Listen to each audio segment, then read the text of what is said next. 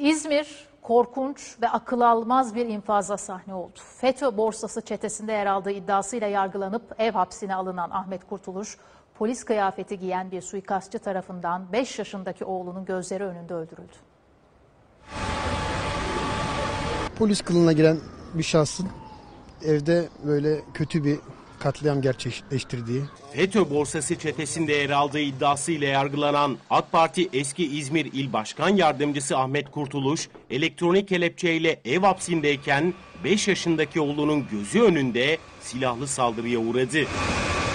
Korkunç olay dün akşam saat 20 sıralarında Ahmet Kurtuluş'un Narlıdere'deki evinde yaşandı. Üzerinde polis yeleği olduğu tespit edilen bir kişi Kurtuluş'un yaşadığı siteye geldi. Güvenlikçilere denetimli serbestlik bürosundan geliyorum diyerek içeri girdi. Polis yelekli saldırgan yukarı çıktı. Kapıyı ona Kurtuluş açtı. Katil zanlısı ondan kimliğini istedi. Kurtuluş'un kızı ve eşi alışverişteydi. O evde 5 yaşındaki oğluyla yalnızdı. Kimliğini almak için yatak odasına gitti. Katil zanlısı takip ettiği Kurtuluş'u oğlunun gözleri önünde kurşun yağmuruna tuttu ve daha sonra kaçtı.